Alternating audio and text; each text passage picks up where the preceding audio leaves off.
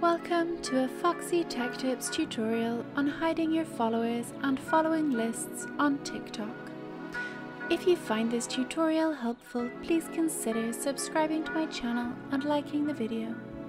The only way to hide your followers and following lists on TikTok is to make your account private.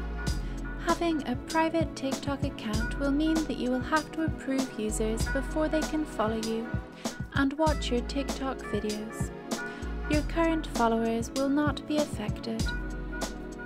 To make your account private, open up the TikTok app and tap on the Me button in the bottom right corner to get to your profile page.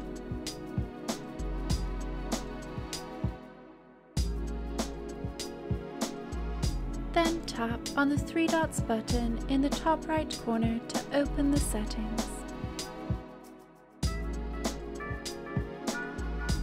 In Settings, tap on Privacy, the second item in the list.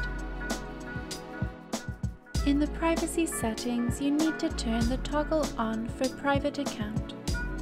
When on, it will turn from grey to green Your followers and following lists will now be hidden from other TikTok users. And that draws an end to this tutorial. Please like the video if you found it helpful and subscribe to Foxy Tech Tips for more TikTok tips and tricks.